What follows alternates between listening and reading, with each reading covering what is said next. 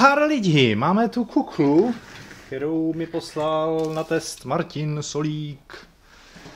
A jedná se o tuhle tu V1000. Jo, je to zase od mostu.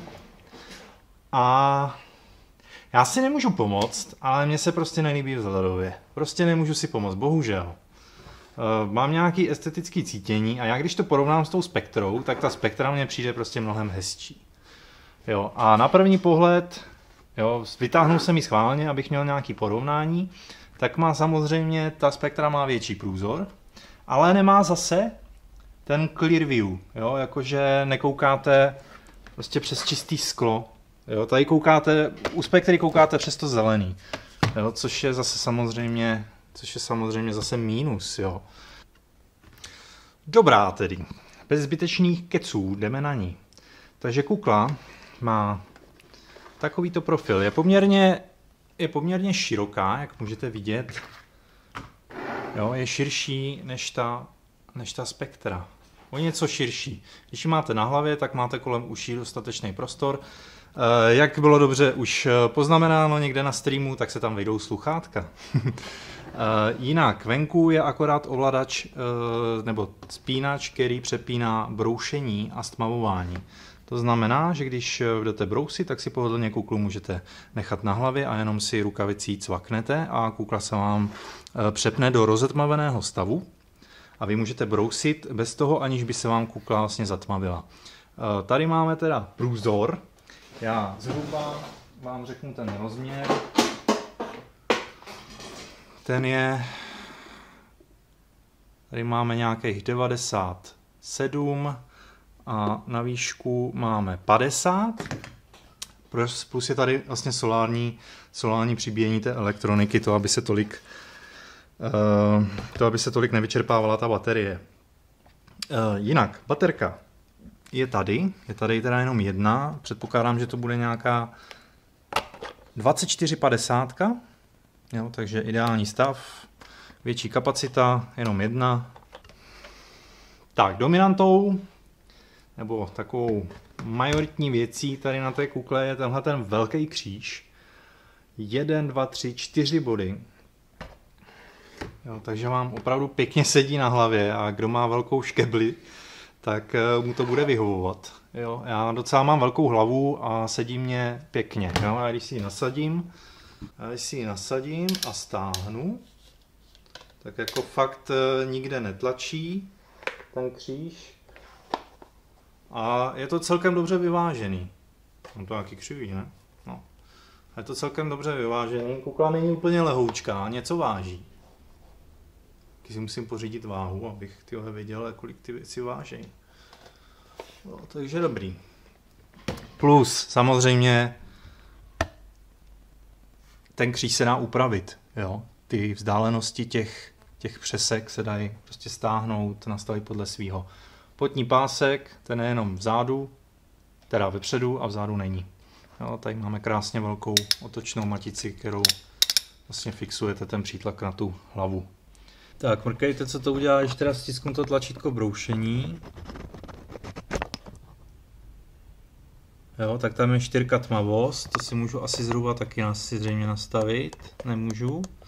Takže kukla je prostě nastavená při broušení na čtyřku tmavost a bliká nám režim broušení. Když to zapnu znova, tak nám skočí na shade a máme to uh, na poslední nastavené hodnotě, takže od 13 do 9. Pro slepce to není. Osmička tam není. Další režimy, tady je delay, to je čas rozetmavení. Ten můžeme nastavovat od jedničky do devítky.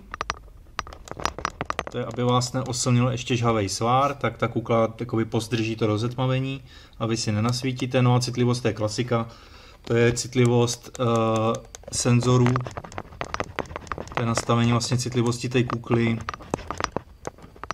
při jaké intenzitě toho záření má zatmavovat. Aby vám to třeba nes, nesnímalo zářivky nebo tak. Eh, tady je ještě zajímavý rozmístění těch senzorů 1, 2, 3, 4 v takovémhle rozložení. Většinou to vydám takhle jsou rozmístěný. Jestli to je dobře nebo špatně, v tuto chvíli nemůžu říct, jo, ale rozhodně čtyři senzory jsou lepší než třeba dva. Otázka zní, velká otázka zní, bude tato kukla dobře a spolehlivě zatmívat na tygovém svařování?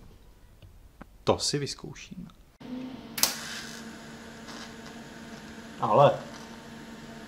Ale, ale. Ale, ale, ale. My fungujeme.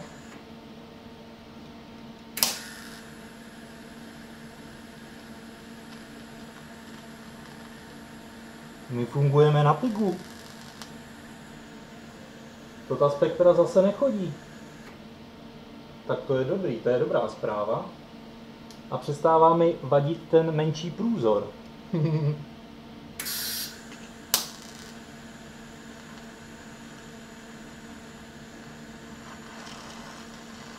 Drží. A jsem s citlivostí na půlce. To je dobrý. Jsem na 40 ampérech, dáme ještě míň. Dáme, co to jde, 20 dáme, 20 ampér. Oh yes. Tak, jak to udělat, abyste to viděli? Já to natočím na mobil asi. Já to natočím na mobil, protože foťák tam nedostanu. No, dobrý to je, dobrý to je, dobrý, dobrý, dobrý. Uh, OK, kukla překvapila. Teďka natáčím na mobil, takže mějte trošku uh, o, o, ohledu plnosti na tu kvalitu a tak. Ale koukejte se, já jsem na 20 ampérech. A ta kukla prostě krásně zatmavuje. Neproblikává. Což je... Což je dobře, že jo?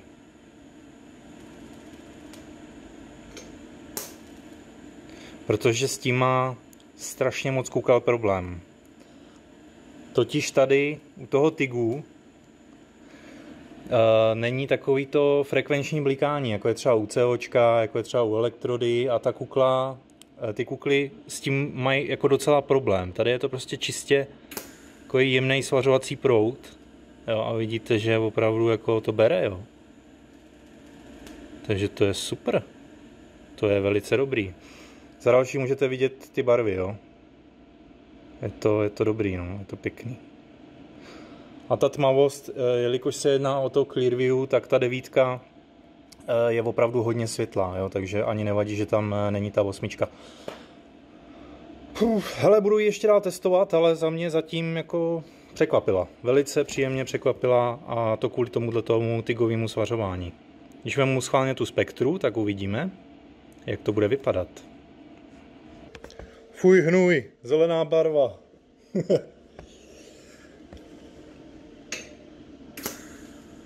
jo, vidíte to? Vidíte, co dělá ta kukla? Je to prostě v.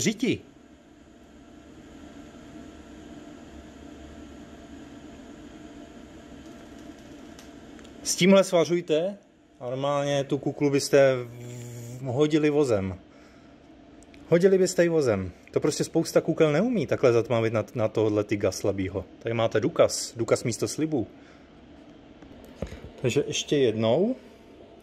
Jo, opravdu tam mám 20 ampér, což je, to není žádný proud, jo. A ta kukla normálně stabilně drží z jakýhokoliv úhlu. Takže jako dobrý, no.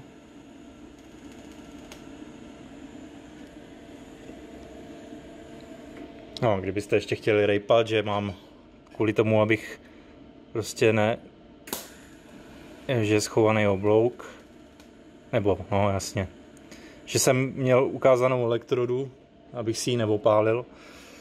Dobrý to je, no, dobrý. Ale překvapila, no, takže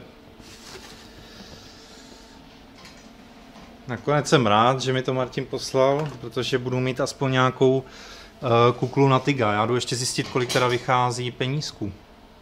Takže 3200 bez daně je nějaká prodejní cena. 3200 bez DPH, takže jde plus DPH. A ta kukla, na ní se dá implementovat i odsávání. Jo, umí, umí i odsávání. To je teda dražší samozřejmě, protože tam je ta jednotka, ta kukla je na to uspůsobená. To, má, to mají za 13 bez daně. Což je hodně zajímavá cena. No, z vás se teďka chytnou, to je strašně drahý, ale běžte se podívat, kolik stojí třeba obtrelka s odsáváním. Kolik stojí třeba obtrelka, že jo? A nebo spíglaska. To je třeba za 30.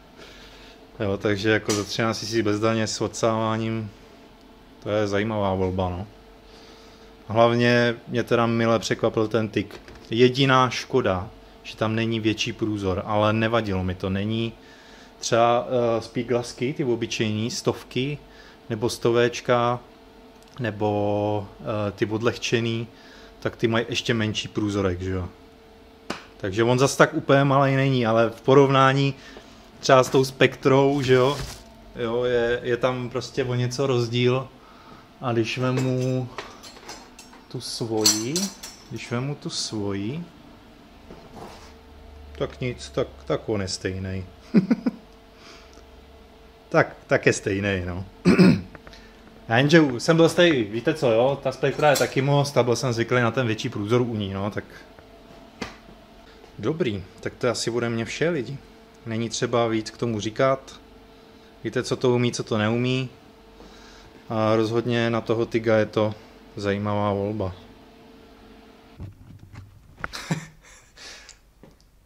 Dotočil jsem recenzi na Kuklu, dotočil jsem tohleto video. Za 10 minut přijel pán si pro 206 a říkal, potřebuji kuklu na Tiga. Takhle jsem mu ji dal, on ji vyzkoušel a kukla je pryč. Jak já to dělám?